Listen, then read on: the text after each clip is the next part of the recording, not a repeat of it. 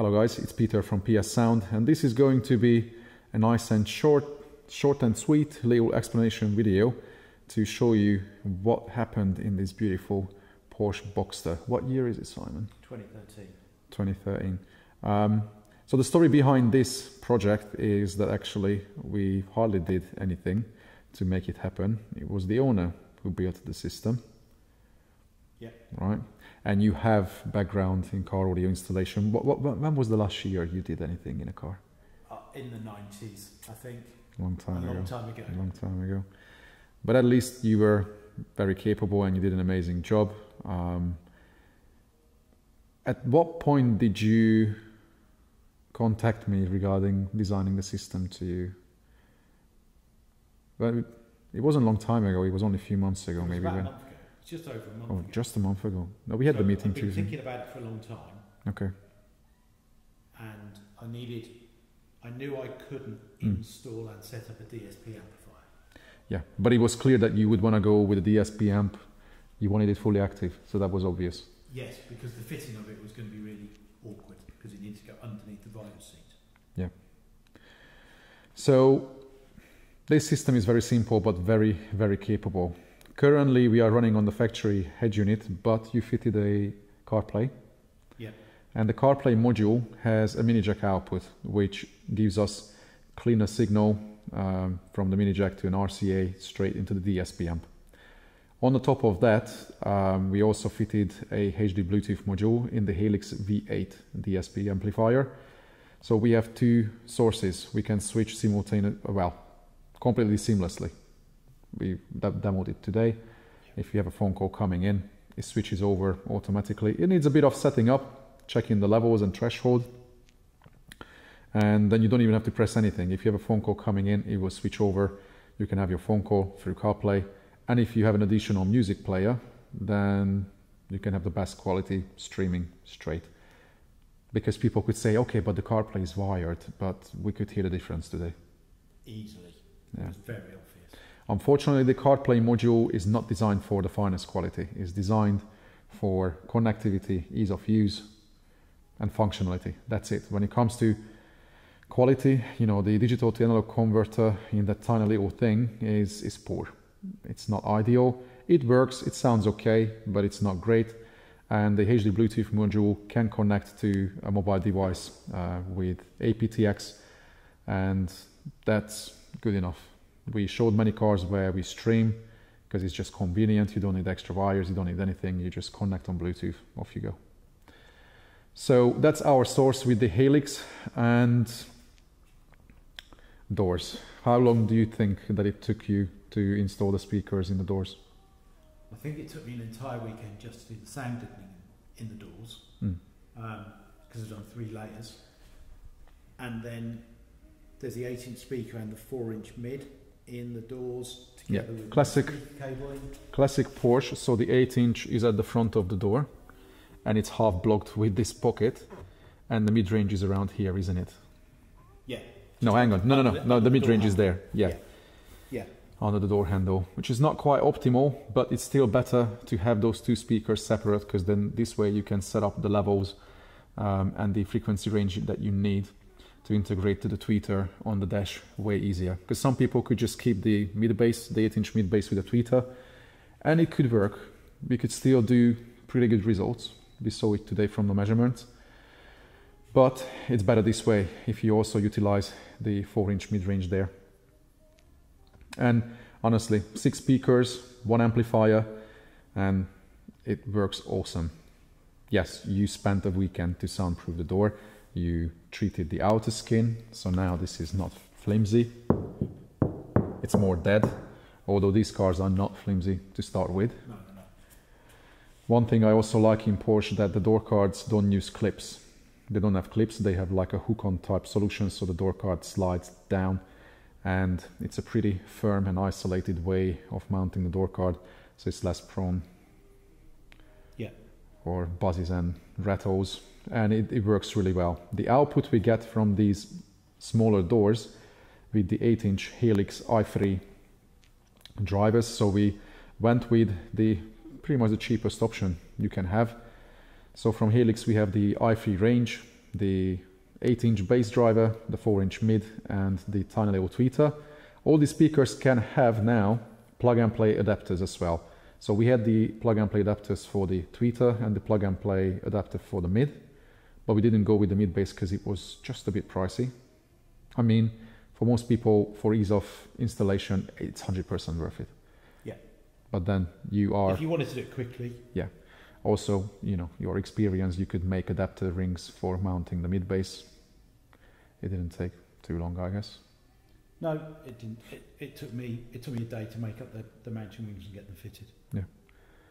But if it wasn't your time, and if, if you had to pay for it, then probably that hundred pound would be worth it It would. Yeah, for the definitely. for the mounting frame for the 8 inch driver as well. Because because the mounting adapter for the tweeter and the mid is, is, is cheap. It's like 15, 20 Every, pounds. everything's lined up and Yeah. they work they work perfectly. Yeah. So currently we run the six speakers as I mentioned, but we still have scope for expansion because the amplifier has two more channels and these cars have rear field speakers right there behind the seat. So that can be utilized for different presets. Uh, you can run rear field normally or differential and yeah, I can I can tune them to add value to the listening experience. For competition, yeah, those people who just want front, left, and right, of course, rear field is like a plague. they don't want it. But in a car like this, where you want driving, you know, enjoyment and, and listen to music in a relaxed way, you need output too on the road, especially when the roof is down. So rear field can be useful for that reason, if anything, even more. So that's another option that can be utilized in these cars. And we also looked into the option to potentially fit a front subwoofer, which is not impossible, although the space is, is not is not great. But um, I have a customer who has an older Boxster, and he has a little custom enclosure on just that side. So it's not using up the whole legroom. It's just on like probably like 40% of the floor space. So the subwoofer is in uh, you know, more like the towards towards the middle of the center console, and it's taking up a bit of a space on the side of the center console, molded onto it. And an 8-inch driver can just give a bit more kick and punch below 50 hertz. It can be useful. Not that currently the 18 inch drivers in the doors don't do an amazing job. We will have a little demo for the guys. Yeah. We always say not to use it as a reference, but it helps to imagine what it can be like. And we were both very surprised today what this simple system is doing. I mean, yes, it's simple. It's only six speakers running fully active, so you had to pull in all the wires. And that took time too. Yeah, it did. Yeah, running new speaker cable through the doors is never an easy job. You were lucky though, because in these cars there's no plug, there's a rubber boot, so you have clean path to push extra cables through, right? But yeah, bring in the power cable in, bring in the signal cable from the CarPlay to the amplifier, or the speaker cables, even that took time. And yes, the topic may come up, you know, Pete, how much is a system like this? We were thinking about it because the outcome is amazing. And every single Porsche should have a system like this to start with, without extra subwoofer or extra madness.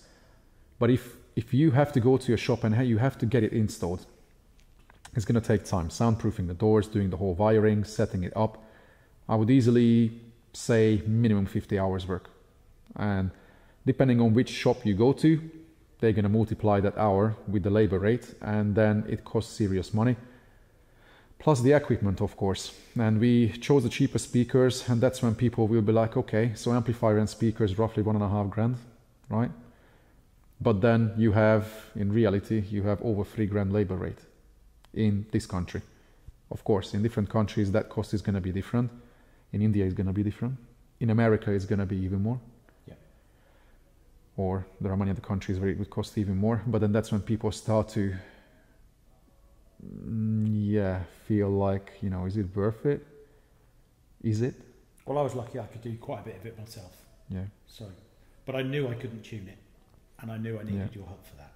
And not, not like, nobody would say that it, it's not worth it and they wouldn't want it.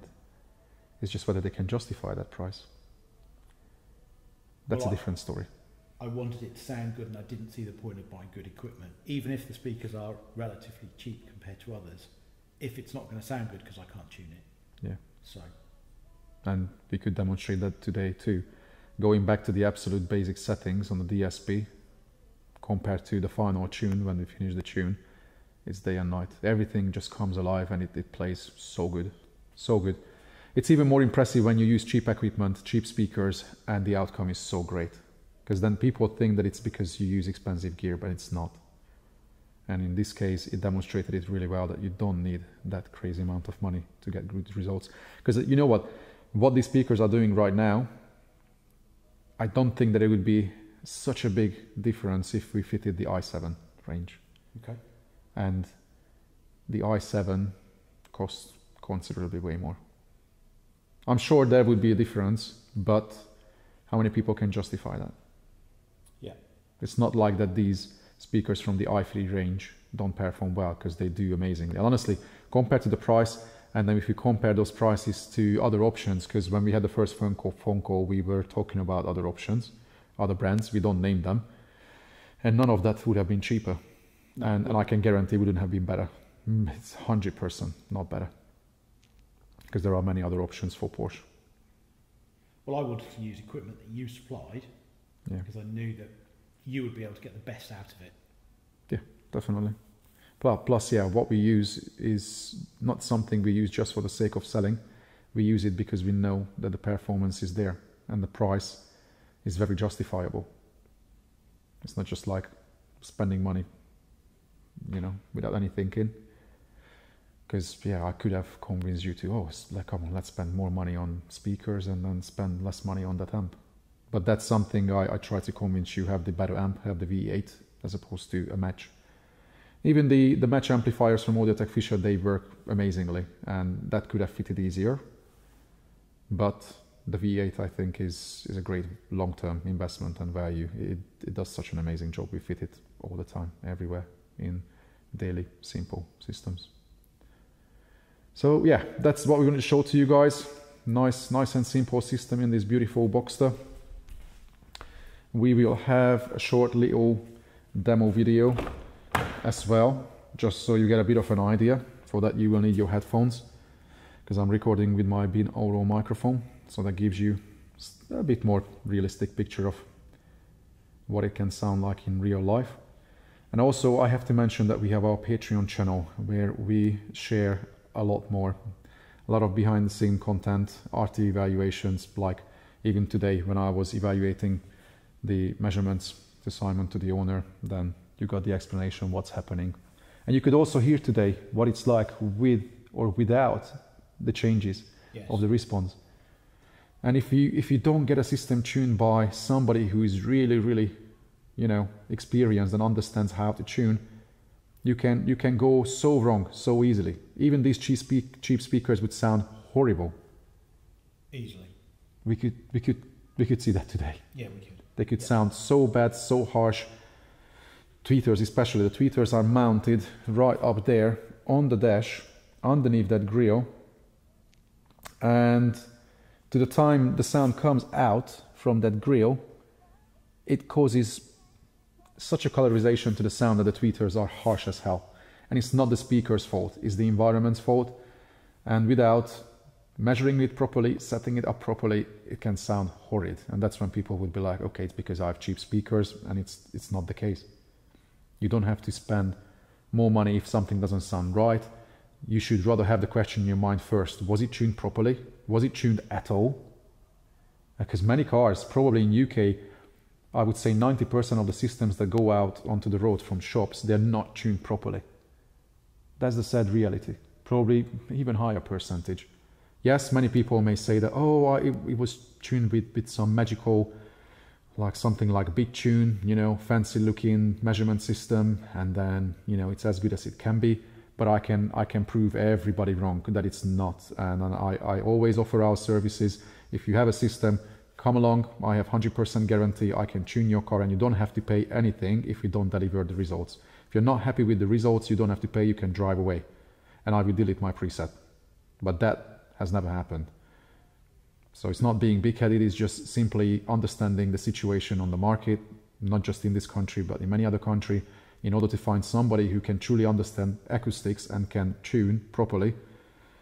That's that's that's that's a big thing. That's what I'm trying to change globally and, and train people because until we don't have every single shop on our level when it comes to tuning, the results are poor. And Yeah. customers are not that happy. And that doesn't help the industry. I want the industry in a, in a place where everybody is happy. You know, your wife is happy, your family, your friends are happy when they hear a well set up car. And then that brings more business and more happiness for the customers. But many of them don't even think about upgrading a system because if now, let's say, you spent all this time and it sounds poor, what would they think? You'd be disappointed and think you'd have wasted your money and your time. But you know, what would they think? They would be like, yeah, they would laugh at you. Yeah. They won't do that.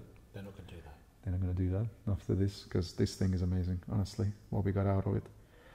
So I'm going to leave it here. Check out description for Patreon where you can see the extra content, RT evaluation, whatnot. We have weekly topics, all sorts of crazy stuff that you can learn from. If you are one of those who want to learn and want to do maybe a project like this on your own and you just need help with the final bit. And yeah, check out the other video. We will have the demo video. Other than that, I will see you in the next one. Take care.